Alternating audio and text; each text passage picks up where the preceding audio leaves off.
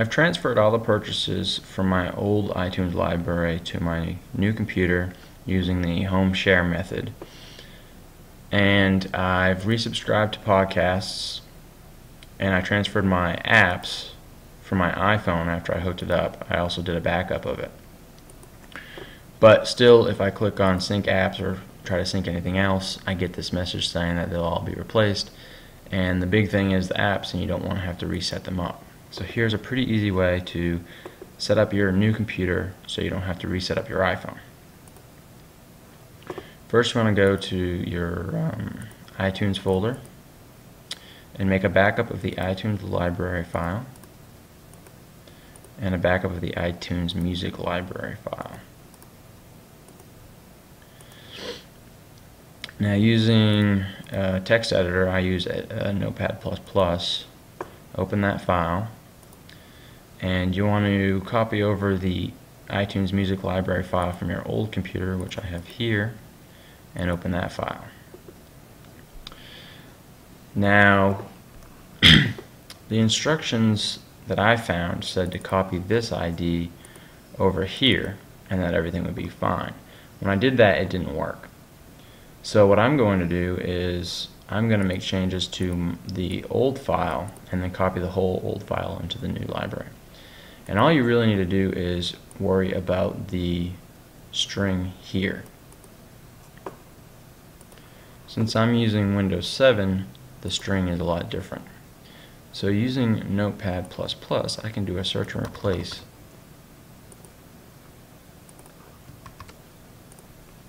I to replace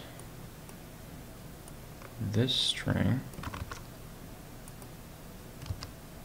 with this string from my new library and it will whoops. Alright let's try this again. Replace that string with that string. Now it will replace these here which are the really important ones. So do replace all. And then I will control A to select all, control C to copy. This is the new file, control A to select all, control V to paste, and then control S to save. Minimize this, go back to our iTunes folder, and we want to edit the iTunes library file. Uh, before we do that, we need to close iTunes. Now here you just want to put in some junk characters because you're going to corrupt this file. And then we'll minimize this. And let's open up iTunes again and see what it says.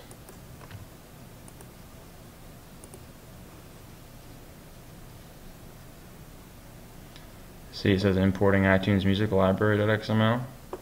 It's not valid. Click OK. And now it's reprocessing everything, which is good. Alright. Now re-ask if you want to transfer your purchases. Say transfer. Okay, so the uh, apps have all transferred. And I get this message podcasts on the iPhone cannot be synced because all the podcasts selected for sync no longer exist. For some reason, after doing this, the podcasts get all erased. It's not a huge deal. I can just recopy them from my home share. Um,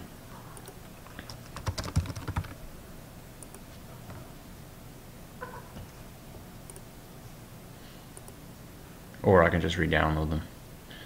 But now, when I go to apps, you see everything synced. All my settings have been saved.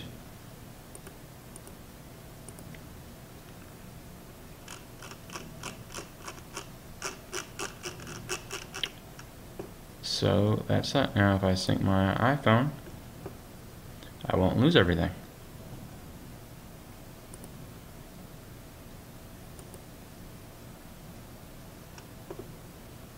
And that's that. You have successfully synced your iPhone without losing all your data to a new computer. Hope this helps.